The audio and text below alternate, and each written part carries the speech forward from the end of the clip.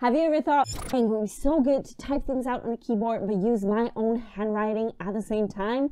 Babe, I got you. I'm bringing you a super quick and super simple tutorial on how you can do it yourself for free. And there's no need for expensive software or fancy equipment. Ready?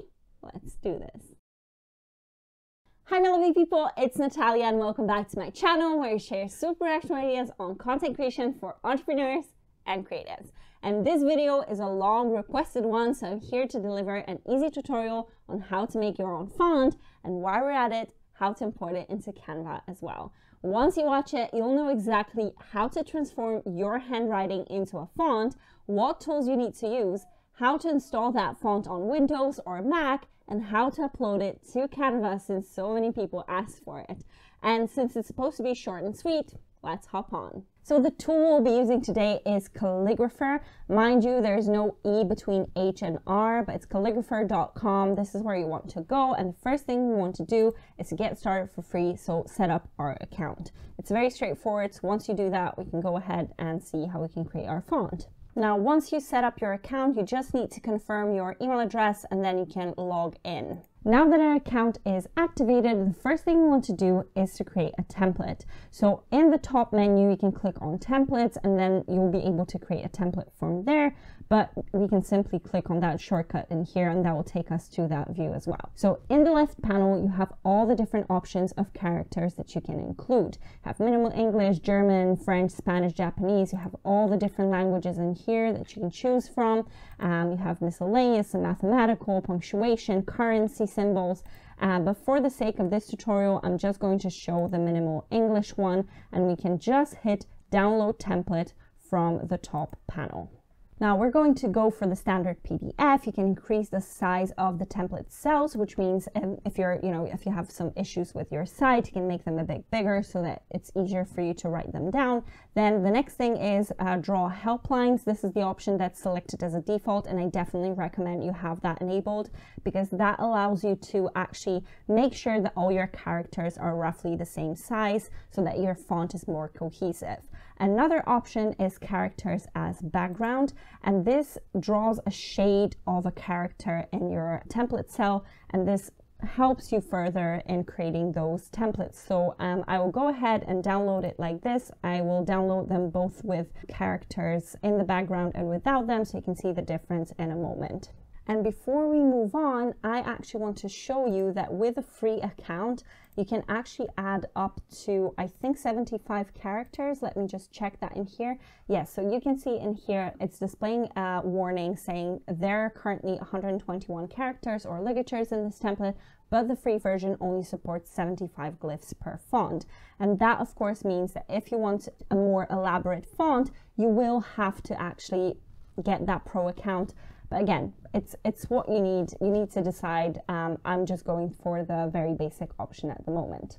Now with this step, you could go the fancy way and use your iPad with Procreate to fill it in. You could open this on a computer and fill it in digitally with a tablet and say Photoshop. But we're here to make it as cheap and easy as possible. So we're going to print the template out a few times and go at it using our hands like it's supposed to be when you want the actual handwriting. Now you need to make sure that you fill out your template with a black pen and while filming the filling out of the template, I'm going to give you some tips. So Calligraphr recommends using a felt tip pen rather than a ballpoint and it's definitely helpful because it helps you express your handwriting much better.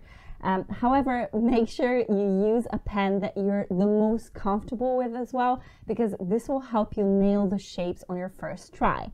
If you're not happy with what the letter looks like, you know, you can always grab another copy of your template and try again, and I will show you how to fix it later as well.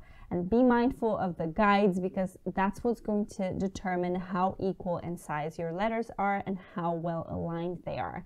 And when you focus on a character at a time, there's a tendency to have different blotches appear here and there, especially with um, the characters like the uppercase O or when the different lines connect, like with Y. So be on the lookout for those and write as naturally as possible. Now that you've filled out your template, you can go ahead and take a photo or better yet, use a scanning app. Um, in my case, I'm using Scanner Lens Plus. You can use Cam Scanner as well, or if you have a traditional scanner at home, by all means go ahead and use it. Be sure that you stand in a good even light and place the template on a flat surface so that it doesn't create any shadows. And make sure that the squares in the corners of the template that are included by Calligraphr are visible on your scan. It's imperative because that allows Calligraphr to actually recognize this template and make sure it's shown correctly. The next step is uploading your template and editing it in Calligraphr. I've downloaded it from Google Drive. I have it on my computer. So once you have the scan ready, go back to Calligraphr and open the My Fonts tab here at the top. Now there's a second panel in here at the top. You need to hit Upload Template and select the file that you want to go for. Um, I'm just going to upload it like this. It may take Calligraphr a moment to actually upload it and to clean up your template, but we're going to wait and edit it in a second. All right, so as you can see, we found 52 glyphs in the one image you've uploaded, and you can actually add new variants. So upload another template after adding these characters, and you will be able to actually create different variants of the same character. Now, why it's important is because handwriting is a bit more kind of natural, it flows more naturally, there's never the same character kind of repeated, so it's quite good to add those variants. Again, it will be possible with a pro account, but with a free account, you can just go ahead and um, do it this way. And now add characters to your font just like that here at the bottom. And now you can actually go in and edit some of the glitches that are not quite well executed. So I'll go to the Y in here. I'll click edit character just like that. You have all the different brush types that help you clean up that design properly or even add some different elements to it. So I'm going to go for the circle in here, change the brush size and select eraser because I want to make sure that it's a bit cleaner. And you can zoom in like that and you'll be able to just clean it up a little bit. That's not ideal, of course. So if you want to go down in here and undo, that's absolutely fine. And you can just start sort of slowly cleaning up your character from here. And I'm not going to go too crazy in here, but any elements that are kind of outstanding, they're breaking the line, I would definitely kind of clean up, but don't be too, you know, too, too perfect with it. Of course, handwriting is supposed to be a bit messy. It's not always perfect, so go for that natural feel. And if you undo the eraser, you can actually fill in all the gaps that might not have been caught with a scan. So I'm just going to fill that in like this from this character. And you have all the different lines as well, which help you create straighter um, characters just like that.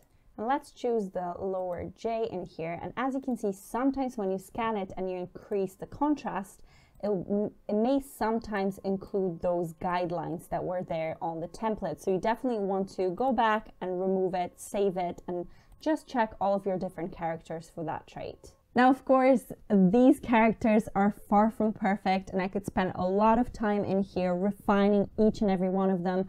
But for the sake of this, this tutorial, I'm just going to go ahead and hit build font here at the top, and that's going to create my font. You can change the name in here. So I'm just going to go for NK um, test because it is a test version and I'm just going to go ahead and hit build like this.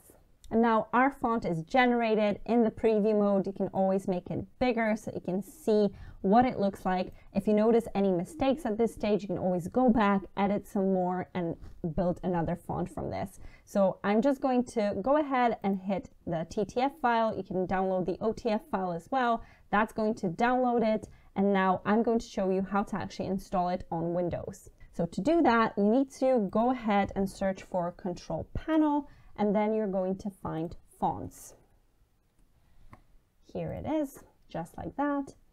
And in Windows, once that's open, you can simply drag your font in here, and that's going to install it on your drive. Once that's done, you can simply go to Word, open it up, now I'm just going to paste some text in here, select it, and go ahead and choose my font. This NK test just like that. And as you can see, you have my font written in here. It's not quite perfect. I've not really used uh, the punctuation in the template. Again, you can go ahead and choose to do so with your templates. But this is it. This is what it looks like. You can always go back to the same template from um, from Calligraphr and actually refine those characters. You can go back and upload the new ones just to make sure that you're kind of achieving the level of handwritingness that you want. And of course, if you're on Mac, you can do the following. You can go to the font book app and click the add button in the font book toolbar, locate the font again, select it, and then click open, and that will just install it on your computer, very similar to Windows. So in order to actually upload the font to Canva, you do need a pro account, but if you have it, you go to brand kit here in the left panel, you have all the different fonts, and you can actually upload um, a new font from here. You hit upload font, select the one that you want, there is a warning that pops up um, to say that you need to have the right to use it. Of course, any font that you create from your own handwriting in Calligraphr, you have complete rights to both non-commercial and commercial. So I'm going to go ahead and hit yes, upload anyway. That's going to upload my file. And as you can see in here, I actually have a previous font um, that I've uploaded from before. That's another test font that I have. Uh, so let me just go to uh, my designs. I'll go in here. And you can see that in this design, I've actually used the previous font that I've uploaded, what to do when you want to work, just a random piece of text. Uh, I can go ahead and type a new text in here. Um, hey, my friends. And just like that, you do have your own handwriting in Canva. Very easy. Um, I feel like Calligraphr is such a powerful tool that you can use to create all the different kind of glyphs. You have the ability to create um, ligatures as well. So the font, the lettering combinations as well, because in hand lettering, it's quite important to have those connectors in there. So um, this is what Calligraphr actually allows you to do. So go ahead, have fun with it. I hope you enjoy it. Let me know in the comments if you'll turn your own handwriting into a font and how you're going to use it. Make sure to watch this video next and hit that like button if you enjoyed this tutorial. Subscribe for more creative content and I'll see you next time.